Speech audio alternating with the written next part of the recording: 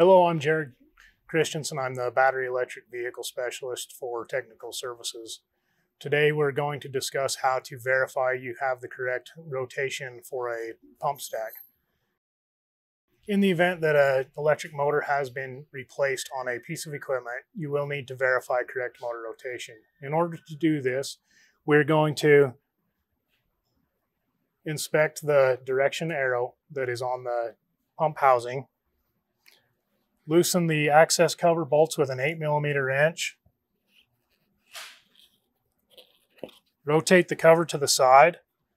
And then you're going to need a light to look inside this access panel. You'll need someone to start the electric motor briefly and then shut it down while you inspect the direction of rotation. After doing this, just simply replace the cover